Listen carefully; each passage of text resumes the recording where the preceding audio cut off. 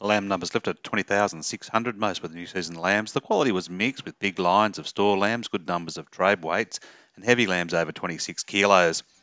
The market sold to a mixed trend. The store lambs 10 cheaper, trade lambs 5 to 8 cheaper, with the extra heavy lambs averaging 6 stronger. New season store lambs 88 to 183, with the trade weights returning to the paddock 189. Trade lambs to 24 kilos, 170 to 204, or 780 to 830 cents, 24 to 26, 209 to 224 or 800 cents, and heavy lambs over 26 kilos, 243 to 265. Extra heavy old lambs topped at 272, merino trades 148 to 177, and the best price hog at 222.